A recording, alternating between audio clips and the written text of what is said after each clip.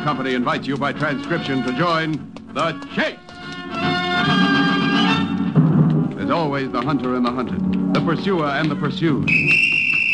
It may be the voice of authority or a race with death and destruction, the most relentless of the hunters.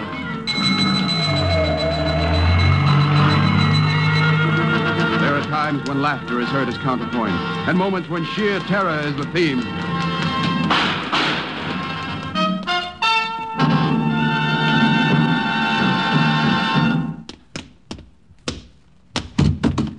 Always there is the chase.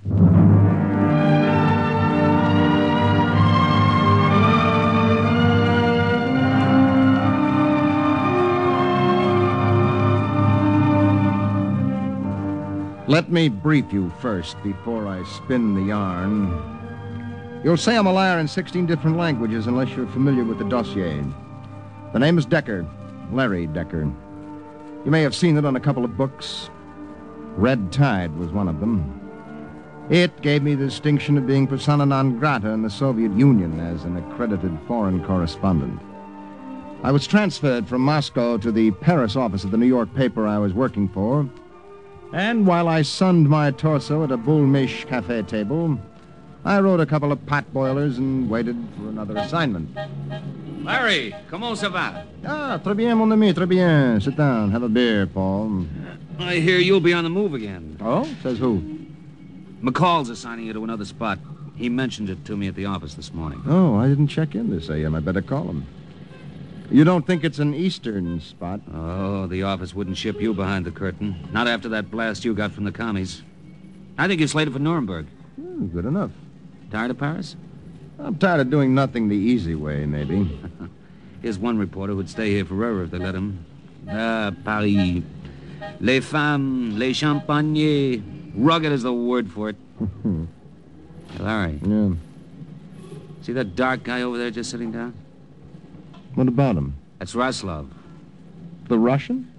Boris Mekanov's chief cook and bottle washer. He's no GPU man, a postgraduate student. They say he'd crown his own grandmother with a bottle of vodka if she didn't join the party. Is Mekanoff in town, Paul? Came here yesterday with a delegation for the international conference. Hmm, it's a pretty big cookie behind the Iron Curtain. First time he's even been west. They say he's slated for one of the biggest chairs in Poland. Commissar of Communications and Double Talk or something like that. He's making a speech today at the Palais. Going to dish out the same tired old gravy, I suppose. Larry, who do they think they're kidding? Or themselves, maybe. When they stink up the airwaves, do they really think anyone believes it? If you're one of the enlightened in their domain, you better believe it. Or else. What time does he make this speech? Around four this afternoon. I think I'll run over to the Palais and listen. It's always good for a laugh. He's uh, he's looking our way. Who, Raslov? May have overheard us. Yeah, so he's in Paris now, not Minsk. You can open your mouth here. Well, I'd better get. I got a date at three. May see you at the Palais later. I'll be there, sweetie pie, enjoying the yaks. But it wasn't funny. Their speeches may sound funny, but they're sad, friend. And as I listened to Mekanov's varsity drag, I got the feeling I always get.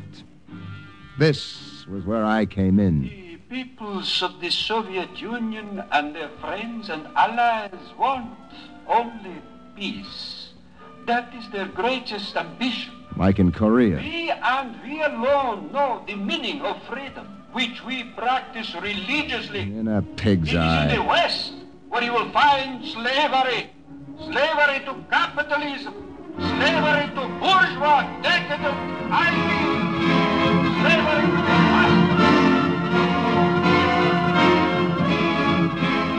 And so it went on and on and on like a broken record. Words came out with the sameness of beer cans on a production line. They sounded just as hollow. Mekanoff had been a college professor before the Kremlin yanked him upstairs. Surely he must have some intelligence. Could it be possible that he believed those worn out gag routines? Well, I was still debating this question with myself when Paul Courtney saw me off at one of the railway stations of Paris. I was on my way to Nuremberg, Germany. Well, don't work too much, Larry. I'll try hard not to. How's your German? It uh, needs a little sauerbraten and pilsner, but I'll get by. Well, drop me a line. I. hey, what's up? Look who you're getting as a traveling companion. Hmm, who? Isn't that Mekanoff and his entourage over there, just boarding the train? Well, I'll be. Sure, they'll be in my car. He's probably on his way to Czechoslovakia by way of Nuremberg. He's got a mob with him. There's Roslov and a bodyguard. They'll probably lock themselves inside a compartment until they hit the Soviet zone. You know, I'd like to talk to him. Mekanoff? Yes. what do you talk about? The weather? It's about all you'll have in common. I'd like to ask him if he really means those speeches he makes. If any of the big shots mean them. I'd like to get an off the record version. Oh, you've got a fat chance. So I can try.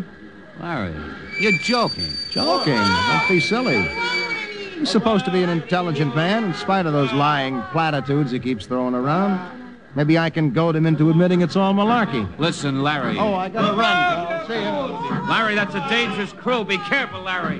Be careful.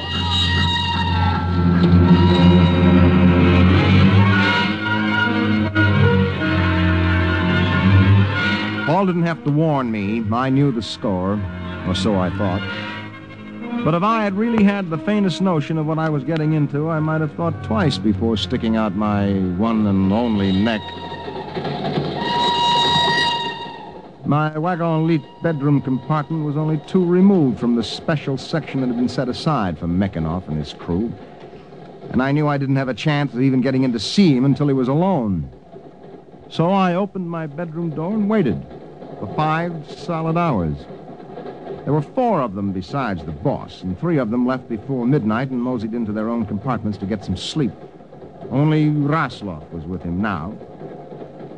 And just as I started to get a little sleepy, I heard the compartment door open once again, and I peered out.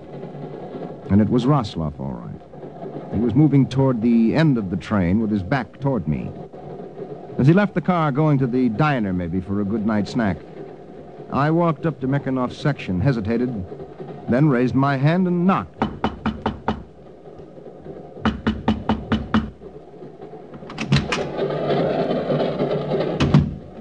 Mr. Mekanoff? Ah, Look, my Russian is kind of creaky. You speak English, don't you? who are you? Decker is my name. What do you want? I just dropped in to ask you a simple question.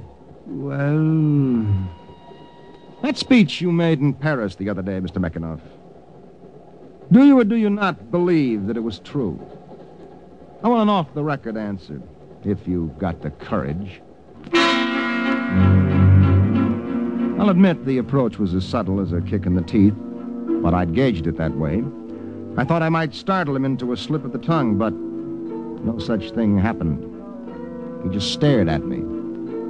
At me and through me. It was then I began to notice the sickly green pallor that was rising in his jowly face. Mr. Mekanoff, ah, did you hear my question? yes, I hear the question. I will answer it. Sit down. Are you feeling all right? In a very few moments, my impetuous friend, it will not matter. What? You ask me a question. Here is my answer. The speech was a lie from beginning to end. I may as well tell you, Mr. Mekanoff, that I'm going to quote you. Quote me? you can do better.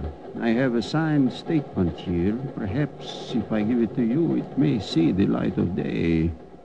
I don't understand. Never have we believed what we said. We are not fools, my friend. Our words are for this stupid little man who is not allowed to think for himself. You sound like a guy who's just discovered he's got a conscience. You sound like a schoolboy, not a correspondent. You think I'm telling you all this because I love your West any more than I love my own country? I would have gone on if they let me. But when one is a thief, he should learn he cannot trust other thieves. Then you had a falling out with the Kremlin? Yesterday they executed my wife in Moscow. Eugenie, my wonderful Eugenie. And for what? For what, I ask you? Was she a traitor? No. Did she follow the common foreign policies? Yes. Then why did she have to die? Why? I'll tell you why she dared to think for herself for one brief moment. Yes, my friend, 30 years of glory mean nothing if you deviate for one brief moment. Well, what'll happen to you when you get back? When I get back, do you think I am mad enough to return? But this train. Will only arrive with my body, my friend. Only my body. He toppled over from his seat and lay still. Slowly, his hand opened, and a small vial rolled out of his fingers. He must have taken the poison before I came in. And it was obvious that Mr. Mekanoff had just turned in his party card, but for good. I slipped the paper he'd handed me into my pocket, then opened the compartment door. My luck was still with me because the corridor was empty. I darted back toward the rear of the car to the safety of my own room. I opened the paper and I read it carefully. It was written in Russian. I could still get the gist of it. It was an admission to the world and an accusation, pure and simple. And coming from one of the topmost figures in the Communist Party, when it was published, it would hold up the hypocrisy of the party line for the whole world to ridicule. And suddenly I remembered. I'd left my hat in Mekanoff's compartment.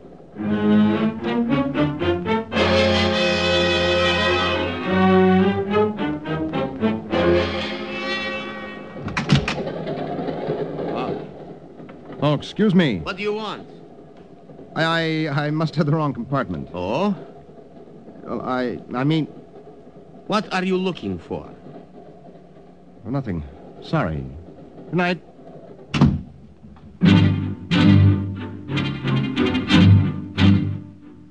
It was only ten minutes since I'd left Mekanoff's body, but it was gone when I stuck my head back inside. Only Raslov was there, turning my hat around slowly in his hands. The hat with my initials on the sweatband. I returned to my compartment, locked the door, and sat down to think. Now, there was still a chance that they wouldn't connect me with the guy who owned the hat, but that chance was a slim one. One thing was certain. They didn't want it known that Mekanoff had committed suicide. That's why they hid his body so fast.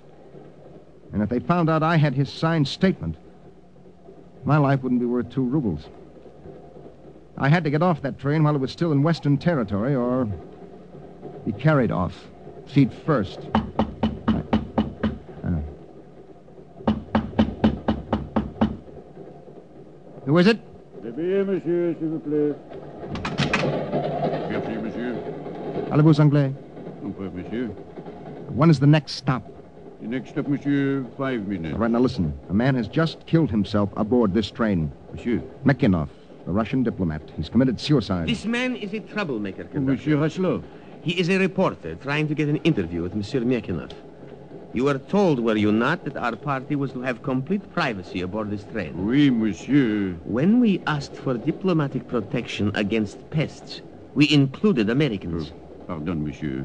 Uh, monsieur, you are a reporter, as Monsieur Raslov says. Yes, I am, If not, but I... Monsieur, you will please be very careful to mind your own affairs. Monsieur Mekinoff and his party have diplomatic protection. I have been told... All right, all right. Keep your shirt on. You may go, conductor. I will give this rash young man an interview and satisfy his curiosity. Monsieur, Well, you boys are fast on the upbeat. This is your hat, I presume? I suppose we may as well take our hair down. We seem to be pretty familiar with each other now. Obviously. What'd you do with the body? What body? Now, let's not play footsie, Raslov. You have obviously been drinking, monsieur. Oh, yes, the water in that carafe outside's a hundred proof. Well, looks as though this is my stop, Raslov, You are leaving us? if you don't mind. But I do. I mind enough to blow your head off if you attempt to leave this compartment. It's a nice ride you've got there. German Luger, isn't it? Looks like a pre-war model. Sit down and be quiet. You will remain in that seat until this train has left the station. And then what? Then we will decide exactly what to do with you.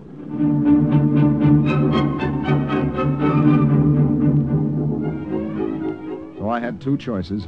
I could either make a run for it and get a bullet in the back of my head, Or I could sit there and wait for him to put a bullet in the front. If murder wasn't his specialty, at least it was a hobby with this character.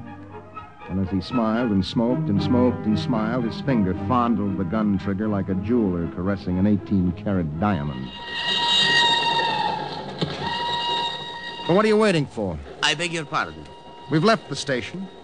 When does target practice begin? What did Mekanov tell you just before he died? He said the Dodgers will absolutely bag the series. Uh, just wait till next year. What? Next question. You are in a dangerous situation, my friend. You're telling me? I am beginning to feel sorry for you. Oh, thanks. When a diplomat of Mr. Mekanov's standing is found murdered in his compartment... Murdered? Oh, relax, Raslov. Your dialectic materialism is showing. I beg your pardon. Mekhanov killed himself with a dose of poison that would have put away a horse. I beg your pardon. He was murdered. By you. By which? This is your hat, is it not? So what? It was found near the body. It is unmistakable evidence of your guilt. You know, you better lay off the Borscht, Junior. It's going to your head. Why should I kill Mekhanov? Where's my motive? You wish to rob him. Of what? This sum of money I have here. Three million French francs. You mean the sum of money you just pulled out of your own pocket? You know, a plant like that would be laughed out of any court in the world except. Except one in Moscow. Is that what you are going to say? We're a long way from Moscow now, Raslov. But only a short way from the Czech frontier. I give you my word, my friend, that you will be given a fair and most interesting trial when we arrive. Sound incredible? Well, it didn't to me. This cookie had it all worked out. And I was sure he'd even arrange for me to make a full confession of the crime. Oh, it was a neat package with all the edges trimmed. It would save them the embarrassment of even the hint of suspicion that Mekhanov killed himself to avoid going back to the promised land. You keeping me company for the night, Raslov? With your permission. Well, take the upper berth. Maybe you'll fall out of it and break your neck. We will be at Nuremberg in the morning. From there, it is only a short time until we reach the Czech frontier. Haven't you overlooked something? So? The German Customs Guard will inspect this compartment when we reach the Franco-German frontier. My party has diplomatic immunity, my friend. No one will bother to question us. Inasmuch as you will be included on our diplomatic list. Score one for your side. Yes. Well, I'll be in there pitching, chum. Right to the end of the game.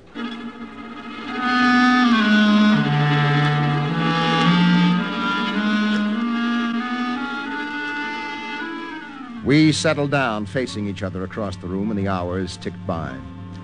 We got past the Franco German frontier, just as he'd said. No one even troubling to knock on my compartment door, and I knew he had his cronies outside, well briefed. The next stop was Nuremberg, the last before the Czech frontier, and I had to make my move by then or lose my chips. Sleepy, Raslov? I am wide awake, my friend. How about a cup of coffee? Breakfast can wait. You know, I haven't had anything under my belt since yesterday afternoon. I'm. Will find it good for the figure. Why don't you sit a little closer, Raslov? It's cozier. I am comfortable where I am, just an arm and revolver length away from your heart. Want to make a bargain? With you? Yeah. Set me free, and I'll hand you a very interesting paper. Signed by Mekhanov himself. Is this some kind of a bluff, my friend? It's right here in my pocket. A complete expose of what you call your People's Republic. Mekhanov signed it before he died. Very interesting. Well, come on over here and take it and set me free. I'll take it, my friend, but as far as you are concerned.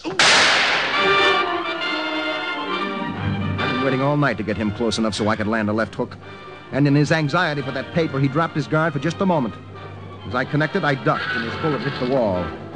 Two seconds later, I was tearing down the corridor toward the front, the car. I didn't know where I was running because the train was going too fast to allow me to make a jump. All I knew was that the winner of this chase got my head as a trophy, and I was anxious to keep it right where it was, on top of my neck. It was four in the morning. Everybody on board the train was asleep. Everyone, it is. Ex-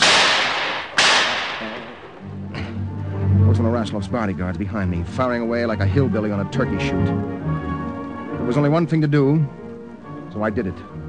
I reached the next car. I ducked into the nearest compartment, out of sight. Well, I declare. Excuse me, ma'am. How dare you come into this here compartment uninvited? For the love of Mike, lady, will you please be quiet? Quiet? Where I come from, you'd be roped like a steer, young man, for walking into a lady's boudoir this way. Why, it's a good thing I was dressed to get off at Nuremberg. Well, I never saw the likes of... Shh. Look, ma'am, my life depends on you. I'm an American. I'm running away from a communist killer. If you tell him I'm in here, I'm finished. Who's there? We are looking for a thief, madam. A dangerous man. Are you alone in your compartment? Why, of course I'm alone. Are you sure? Are you calling me a liar? Why, if my husband were here, he'd slap your sassy face. Excuse me, madam. Excuse me. He's gone. Thanks a lot. Now, what's going on here? Are you from Texas? Naturally. My mother came from Texas. Well, why didn't you say so in the first place, young man? Look, lady, I've got to get off this train at Nuremberg, or my life isn't worth a cent. Now, maybe you can help me. How? Will you lend me some clothes? My clothes? Just a dress, a veil, and a hat, if you've got them. I think I can sneak across the Nuremberg station without being shot at. You mean they're shooting at you, too? Oh, it's open season on Americans out there in the corridor, but don't worry, they never shoot tourists in Europe. What is this? Uh, my night robe. Now, wait a sec. I'll see if I can find you something to wear in my suitcase. Well, look, hurry, will you? We're due in Nuremberg any minute now.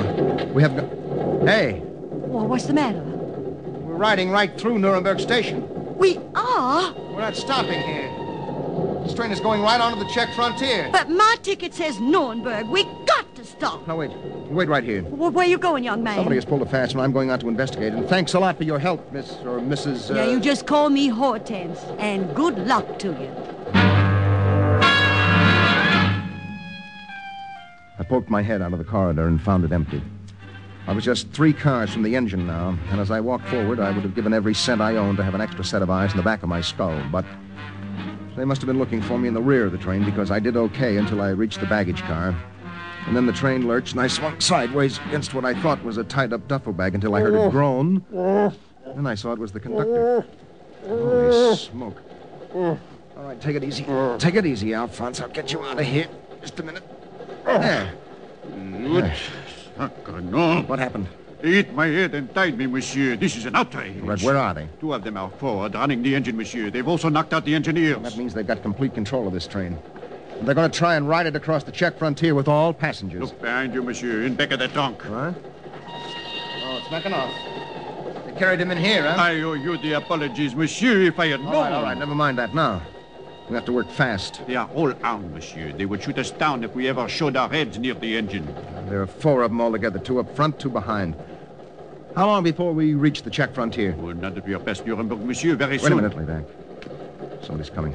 Monsieur. Be quiet. Comment se va, monsieur le conducteur Avez-vous...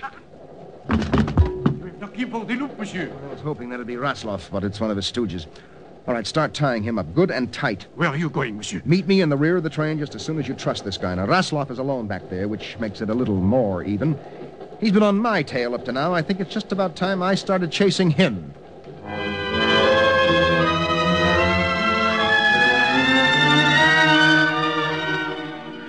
I made my way slowly toward the rear of the train, watching every vestibule and compartment door.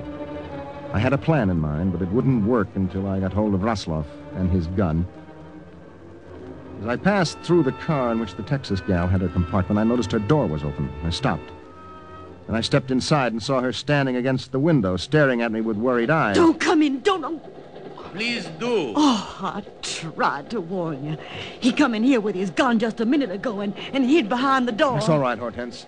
I'd just as soon have it his way. First of all, you will give me that paper signed by my colleague, my friend. Sure, I'll give it to you. Only this time you will put it over there, on the windowsill. All right, now what?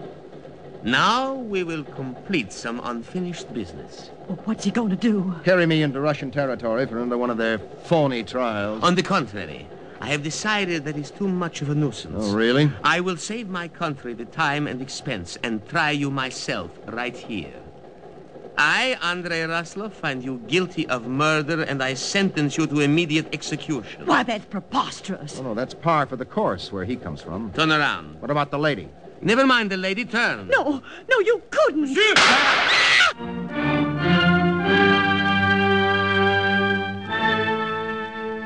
Just as he raised his gun to fire, the conductor showed up near the open door. Raslov's eyes wavered for just a second, and that was all the time I needed. He, he fired as I kicked his gun hand, then he was on me in a flash, with his hands on my throat and his thumbs pushing holes in my Adam's apple. I could feel my windpipe beginning to snap like a reed while he choked the breath back into my lungs, and then just when I thought I'd had it, I raised my knee as hard as I could and planted it square in his middle. Ah. Ah. All right, head. Help him to his feet. I've got his gun. Up, monsieur. In, in three minutes, the train will be across the frontier, my friends. There is nothing you can do to stop it. No, drag him out in the corridor, and quick. Outside, monsieur. Take him to the vestibule at the end of the car. Beat, monsieur Raslov, beat. All right. Open the door. now, conductor. You know how to uncouple this train? Uncouple the train? Yeah. Monsieur, quelle idée. If we separate this car from the engine, they go on without us. Don't touch that. One more crack out of you, and I'll break your head wide open. All right, conductor, work fast. Wait, It is not too easy. All right, the border. We're coming to the frontier. I can see the stanchions up ahead. Now make it snappy. I, I, monsieur, I, I will out to... Ah, ah, there. The trench is all ready to split. Hold it a second. I'll take that signed statement, Raslov. Yes, thank you very kindly. And now you can join your pals in the front section. Au revoir. The coupling is broken, monsieur. We are free.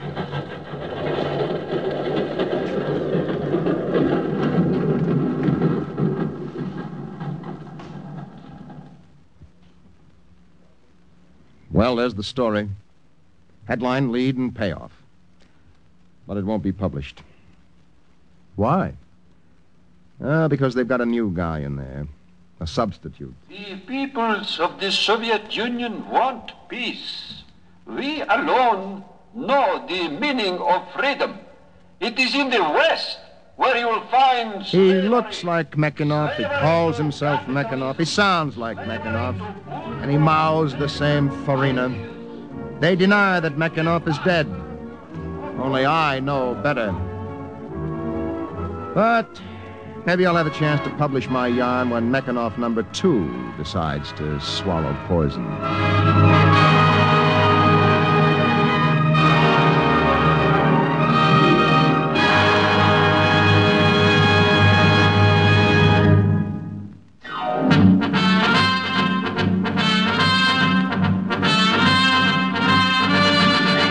The Chase was created and written for the National Broadcasting Company by Lawrence Klee. Featured in tonight's cast were John Larkin, Leon Janney, Roger DeKoven, Ruth Yorke, and Bill Quinn. The Chase is directed and transcribed by Edward King. Fred Collins speaking. Next week, a telephone call that stretches between life and death when we present Long Distance on The Chase.